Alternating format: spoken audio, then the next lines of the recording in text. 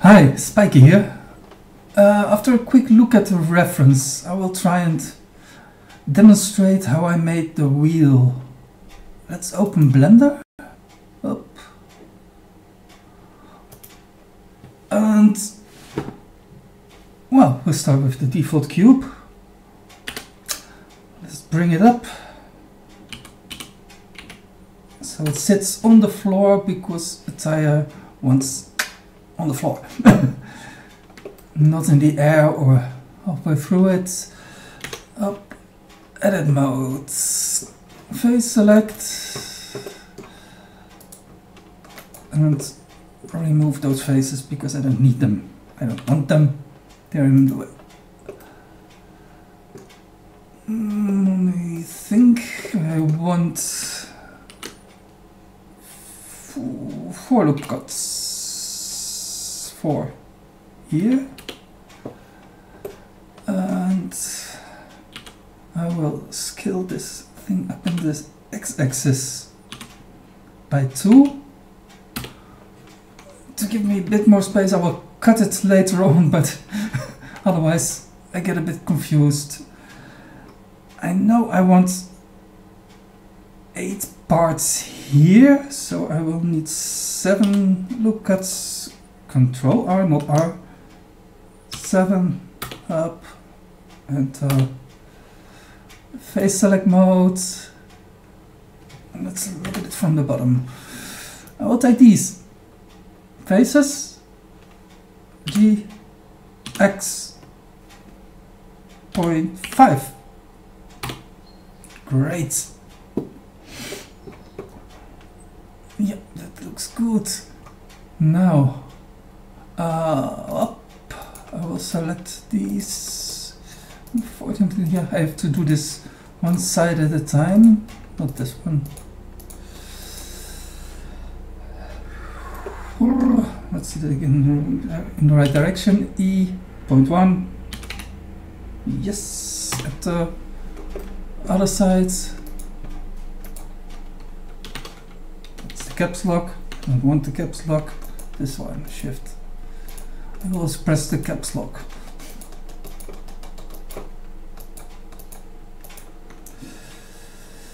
E point one. Yes, excellent. Uh, this is easier to select them up. And individual origins, S X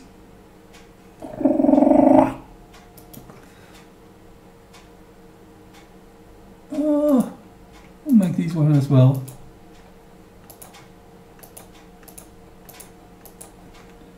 SX. Just a bit. Something like this. And we basically have a wheel. Now I'm going to cut this here. W subdivide.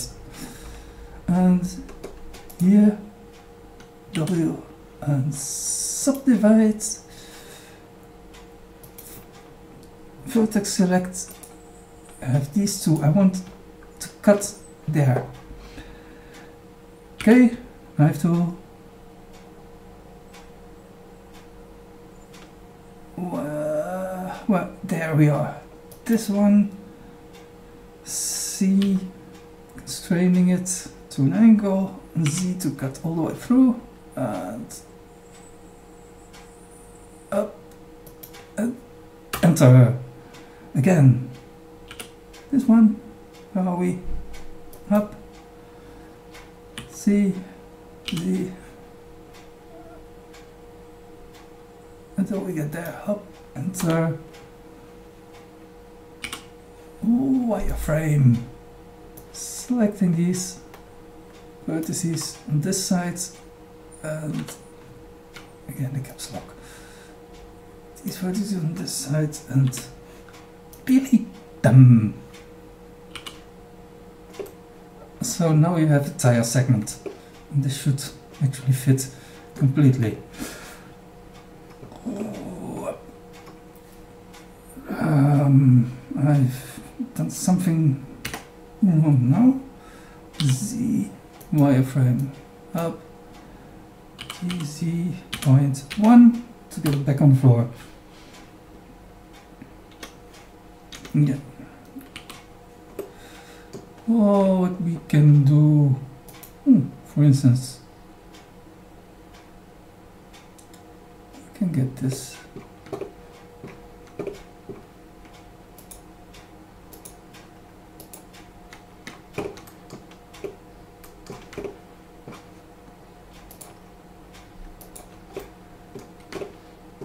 And bring this down a bit.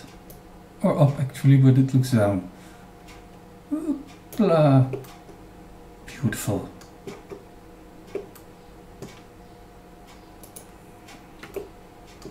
Should we take these?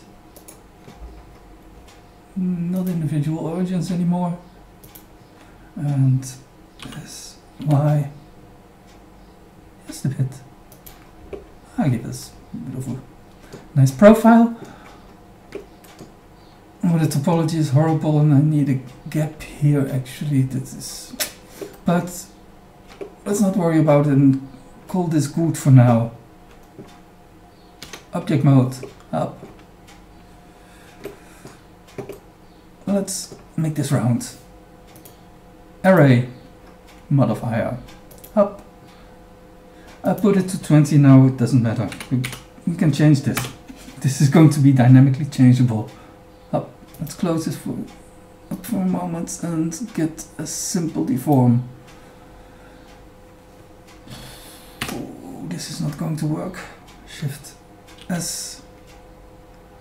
Uh, cursor to world origin, Shift A, and then an empty. We can use a plane axis, and this is going to be the control for the bend.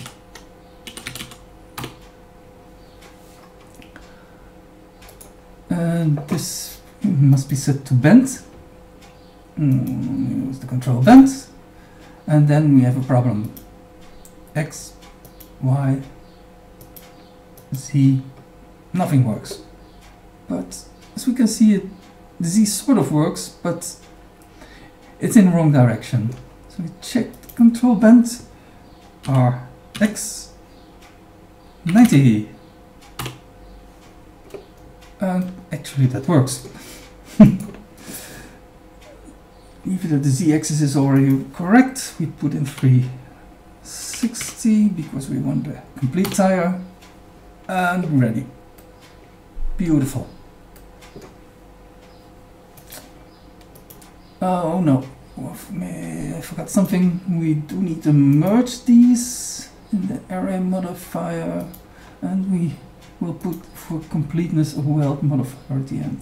It's okay, don't have to change any settings there. Let's open up the N panel.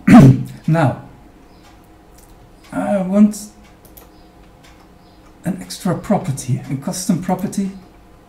Add and edit. We'll give it a name. We'll call this. Let's set the property to 20 and to 20, not 20.0, but make it an integer so that we can use a slider and it always takes integer values. Minimum, well, it's 16. It's not. People go too crazy in 32 doesn't really matter. Tooltip, you can make a tooltip here, number threads, for instance. Now press OK. And we look here, we have threads, and we can change that and nothing happens. Because we want this count to be this one and this is where Blender has become really good in, since 2.8 or something. Right click, copy as new driver, right click, paste driver. And now, boom, boom. Perfect. The only thing is, of course, that when we change the threads, the tire gets bigger. And, and that's not what we want. What we actually want is that when this thing gets bigger, we should get the X scale down.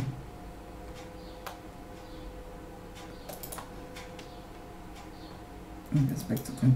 Let's say this is the correct size now, because if it's not, we're going to keep this size.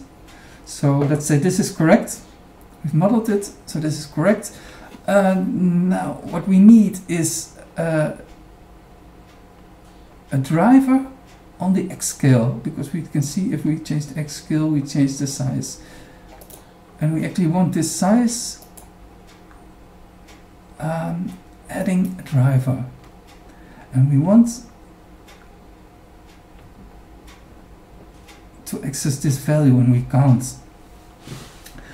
We need something. Another empty. I like empties. empty. We the Z scale and we actually just can paste the driver probably up. So the scale of that empty changes on this one. So now I can into this driver object this empty and the z scale and let's, take, let's just call this for for now. This is not correct. Now you can see this is 20 the driver value. But we don't want it to be 20 we want it to be 1 so we say 20 divided by 4 is 1. Not the other way around, because we want when the 20, when the var gets bigger, the expression should get smaller. So if we do 4 divided by 20, then it would be now 1. But when we increase the number of threads, the die would also get larger. let's see oh, we can see the scale value changes but the tire stays exactly the same that's actually everything I think. Oh we can add some more geometry and make the tire a bit better but this is the principle of it right? So this property value if you change this, the array count changes and the scale changes because this scale changes with, so this is 20 now, you can see, put this up 32 and we look at this thing, it's now 32 and this scale is 0.625 which is 20 divided by 32 but we don't have to change it because this Blender calculates as force. That's the power of drivers. Drivers, you you you can have a cube and another cube, and the, when you scale one cube, the other cube moves, or the other way around, and it's very nice. But the real power is ah, edit driver.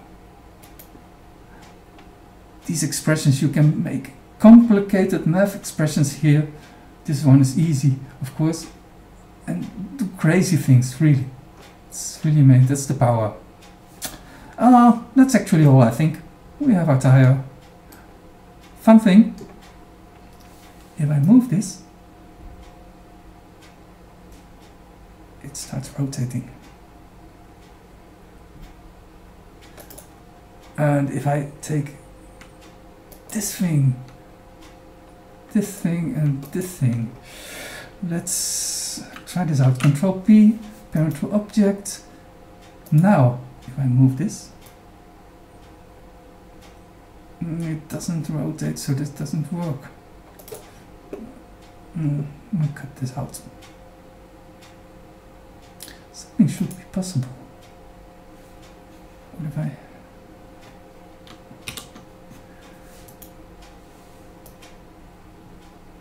Ah, that's it. Just move the empty. cool. You see it doesn't slide? And if I take this thing and put this to the other extreme, move the empty. Yeah. Perfect. Well, that's it actually. Um, see you next time, guys. Hope this was helpful. Bye.